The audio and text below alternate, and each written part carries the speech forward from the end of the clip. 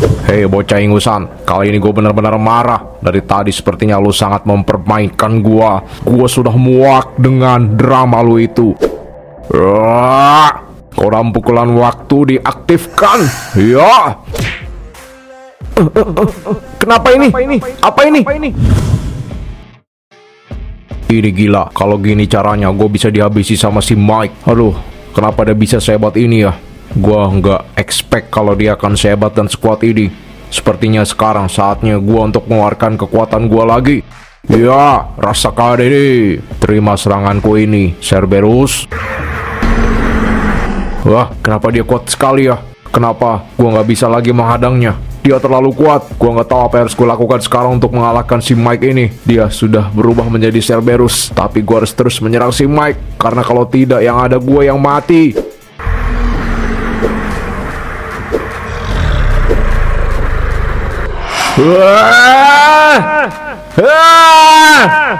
Kali ini gua nggak akan membiarkan lu menang dan mengalahkan gua lagi. Sudah cukup kehancuran dan luka yang lu berikan untuk gua dan para anggota geng Tiger lain. Sudah cukup kehilangan satu orang yang sangat berharga untuk gua. Kali ini gua yang akan menghabisi lu naga ireng. Gua yang akan menghabisi lu dengan tangan gua sendiri. Dan gua akan memberikan lu pelajaran dalam hidup ini. Hei bodoh, jangan dulu merasa hebat. Tidak usah sombong dulu ya. Ya, terus saja kau lakukan itu. Terus saja kau mengeluarkan kekuatan lu karena gua akan terus menguras energi lu sampai habis dan gua akan menghisapnya. Jika itu terus terjadi, gua akan dengan mudah mengalahkan lu.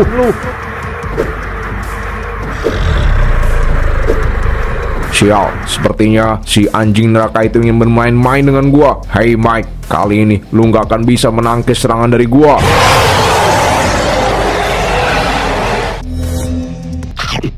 Gumelar! Gumelar! Kau akan mati Gumelar! Rasakan ini, naga ireng! Kau akan mati di tanganku. Hari ini adalah hari terakhir di hidup lu Gumelar.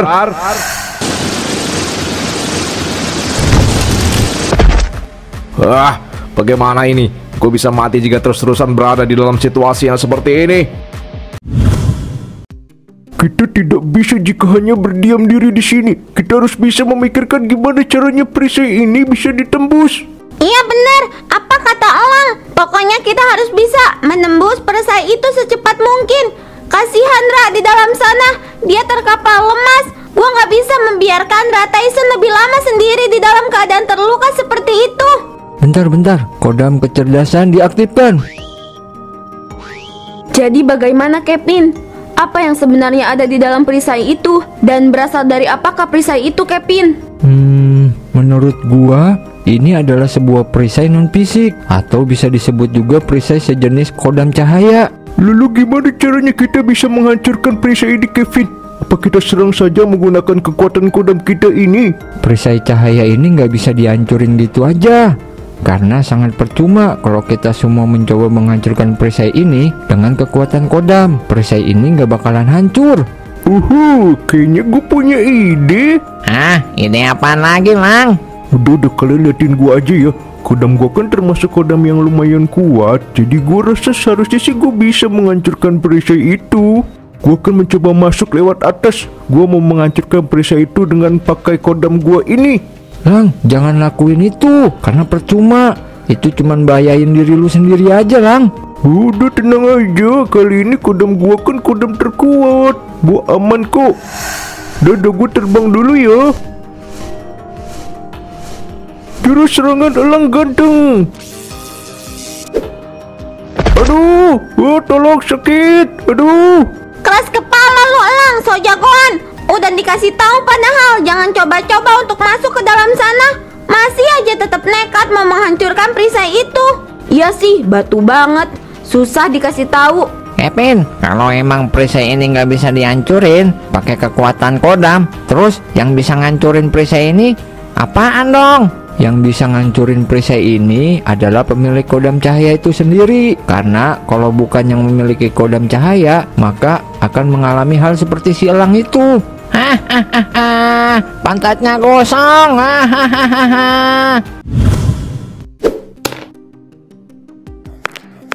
Gimana ini? Anggota Black Dragon dari tadi tidak henti-hentinya yang datang.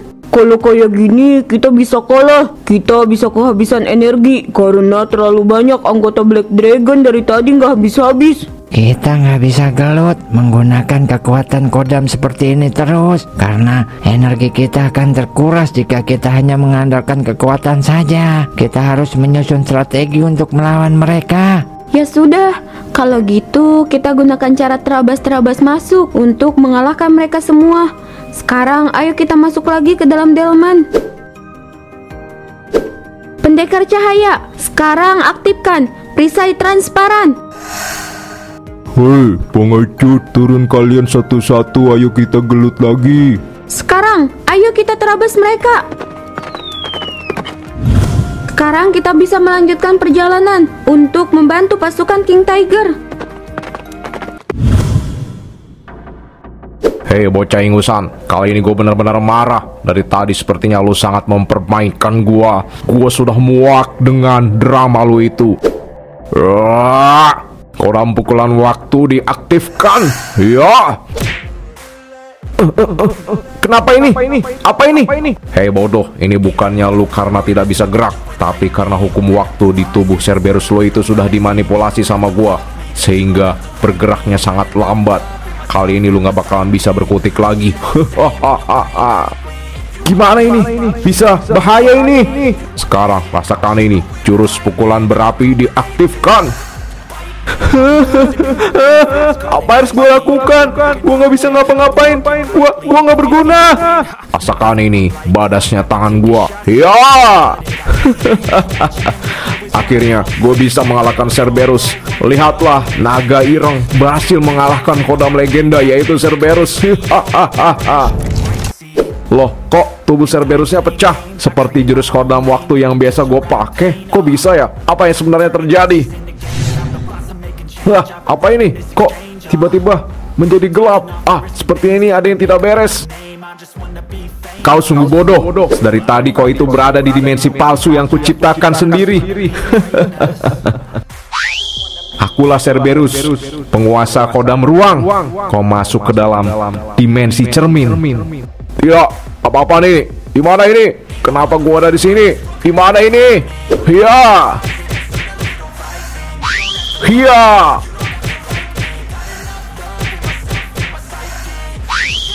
Kenapa? Kenapa Cerberusnya tidak habis-habis?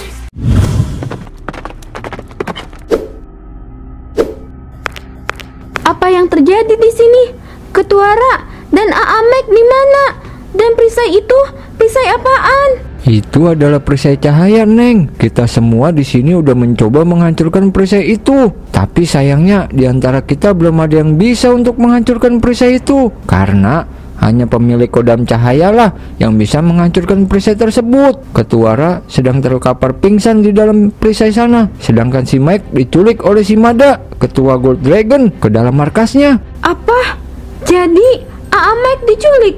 Para pendekar, ayo kita harus segera menghancurkan perisai itu. Hahaha, kita harus menyatukan kekuatan kita untuk menghancurkan perisai itu. Yes, akhirnya berhasil. Rataisan sayang, aku datang. Aku akan menyelamatkanmu. Akhirnya kebuka juga sekarang. Ayo semuanya, tunggu apa lagi? Ayo kita bantu Mike dan Ketuara. Gumelar, sekarang giliran kau yang harus menikmati tanganku ini. Hiya! Oh, oh, aku sudah terluka parah. Aku pasrah jika pada akhirnya aku harus mati di tangan bocah ingusan ini. Karena aku pun memang mengakui aku tidak bisa melawan dia pemilik kodam legenda. Dia terlalu kuat. Aku tidak sebanding dengannya. Aku tidak akan membiarkan kejahatan merajalela di mana pun. Aku akan memberantas siapa pun orang yang ingin melakukan kejahatan. Karena gimana pun juga kejahatan memang harus segera dituntaskan.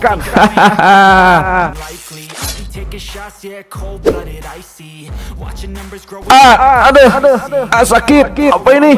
Ah, kenapa? Tangan itu mencekik gua dengan begitu kerasnya. Siapa ini? Ah. Apa kau lupa jika ruang dan waktu adalah konsep yang tidak bisa dipisahkan dalam dimensi ini? Hahaha.